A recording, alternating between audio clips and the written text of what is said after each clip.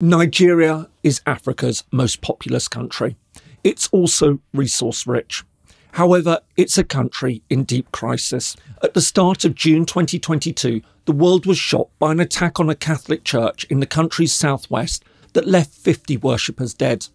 But as brutal as it was, it's merely the tip of a huge and seemingly growing problem. Nigeria now endures daily violence from a bewildering array of quarters. With very real doubts about the government's ability to handle the situation, this prompts the obvious question Is Nigeria collapsing?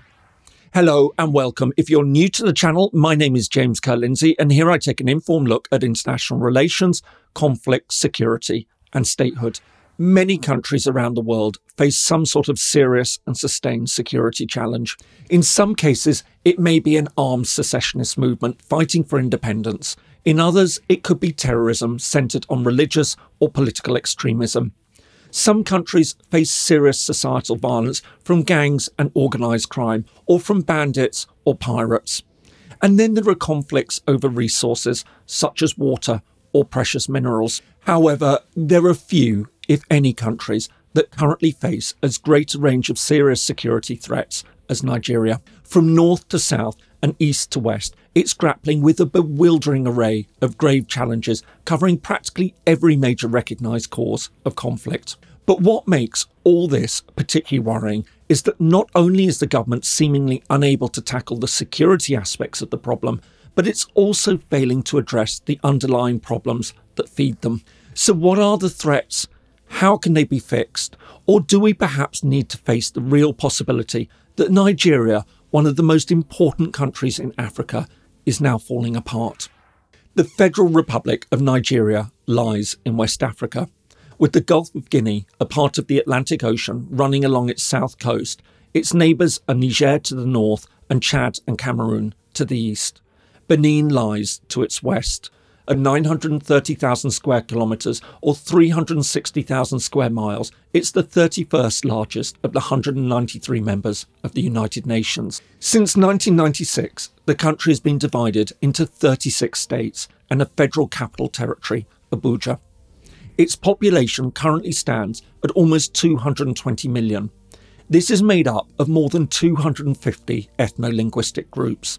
The largest are the Hausa and Fulani in the north, the Yoruba in the southwest, and the Igbo based in the southeast. Religiously, the country is split between mainly Sunni Muslims in the north and largely Protestant Christians in the south central and southeast areas. In the centre and southwest, the population is religiously mixed. Endowed with significant resources, including oil and natural gas, Nigeria's GDP per capita is around $2,100. Nigeria has a long and culturally rich history, including the Benin Empire, one of the oldest civilizations in West Africa. However, our story really starts in the late 19th century when Britain established two colonial territories, the northern and southern Nigerian protectorates.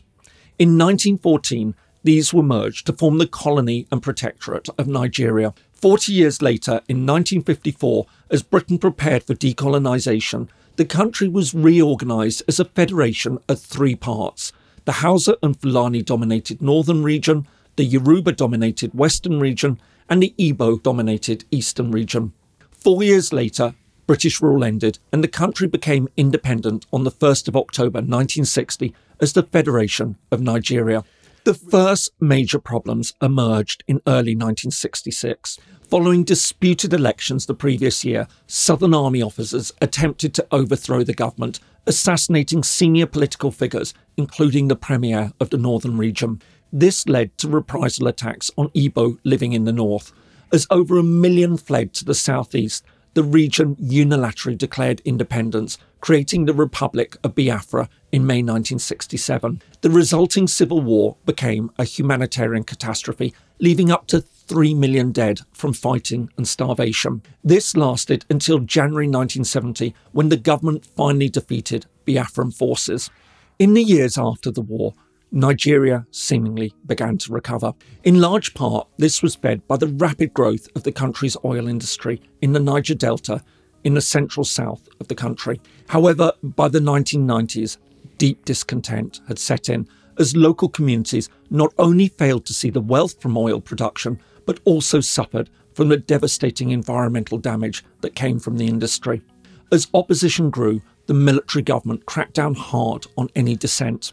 This came to international attention when a leading activist, Ken Saro-Wiwa, was executed in 1995 despite worldwide calls for mercy.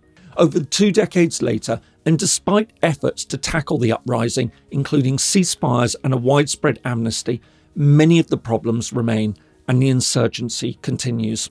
Meanwhile, the Delta conflict has also sparked a revival of tensions in the southeast. Beginning in the late 1990s, Biafran campaigners who claim a part of the oil producing region relaunched their efforts to establish an independent homeland.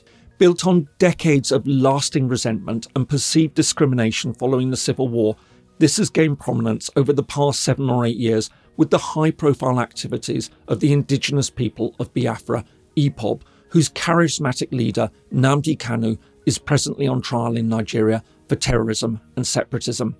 All this has led to widespread protests in the southeast and clashes with the police. While the tensions in the south are undoubtedly serious, over the past decade they've been almost entirely overshadowed by the deteriorating situation in the north.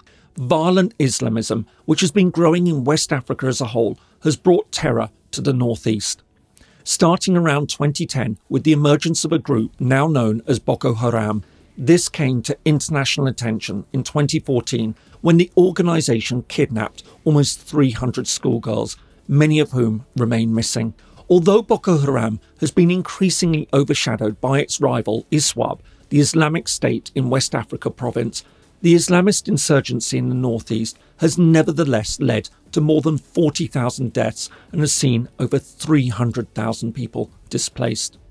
In the meantime, another dangerous threat has emerged over in the northwest.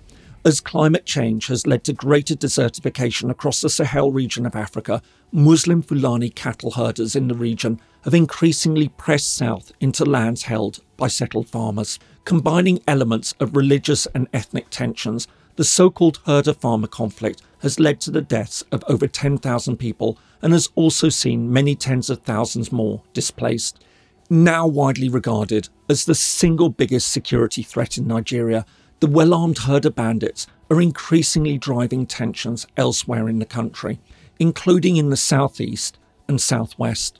Indeed, it was the encroachment of herders that saw IPOB establish an armed wing, the Eastern Security Network, which has since led to confrontations with security forces, further destabilising the situation in the southeast.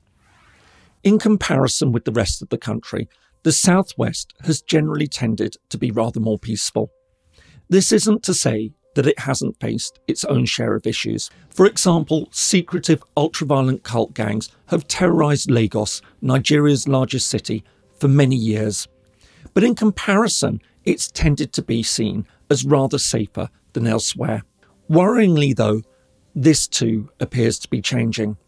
Like the central and southeast regions, it has also started to face violent encroachment by Fulani herders. Moreover, there have also been signs of growing separatist sentiment, although this hasn't yet led to an organised armed insurgency, as in the southeast. However, it was a brutal attack on a Catholic church in the town of Owo on the 6th of June that's really cast a light on the region. While it's unclear who exactly carried out the attack, the government has blamed ISWAP for the killings. Of course, if it was ISWAP, then this represents a dangerous new direction for the group. But even if it wasn't directly involved, the mass murder represents a very dangerous development in the religiously mixed southwest of Nigeria.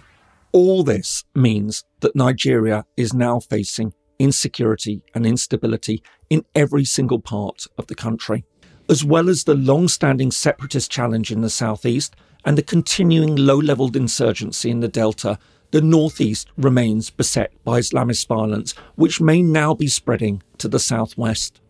Meanwhile, herder bandits from the northwest not only continue to terrorize the centre, but also seem to be pushing into the southeast and southwest. And this isn't even the whole story. These are just the main recognised threats. On top of this, there are all sorts of localised ethno religious tensions. Then there's the emergence of armed vigilante groups. Set up to tackle the violence, many of these are now turning to crime. Of course, the authorities argue that they are addressing the problem, pointing to an increased military and police presence in affected areas.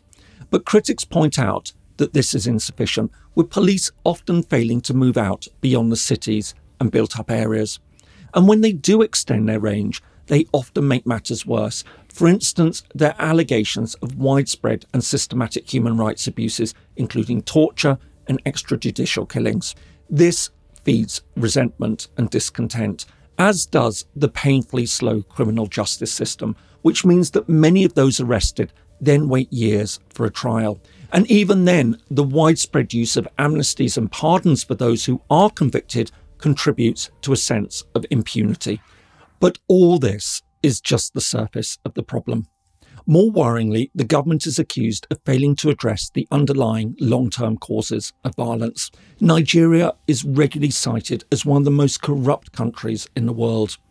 This means that money from things such as oil revenues aren't being spent on developing local communities, improving decaying infrastructure, or investing in economic diversification. Nigeria is also a young country, which brings other problems. Youth unemployment now exceeds 40%, and it's believed that Nigeria has more children out of education than any other country in the world. Then there are a host of other major contributing issues over which the government has a varying degree of control, such as climate change and the proliferation of guns and small arms. And looking ahead, the problems look likely to get worse as the government faces declining revenues as the world moves away from fossil fuels. Needless to say, the sheer scope and scale of the violence is feeding deep concerns about the direction the country is taking. Quite apart from the human toll of the violence, which has seen more than 80,000 killed and hundreds of thousands displaced over the past decade, there's a sense of anxiety about the government's ability to manage the problem. All this has led many to ask openly whether we should think of Nigeria not merely as a failing state, but as a failed one. Indeed, on the most recent Fragile States Index, it came in at 12th out of 179 countries, just behind Ethiopia, which is in the midst of a brutal civil war, and just ahead of Haiti.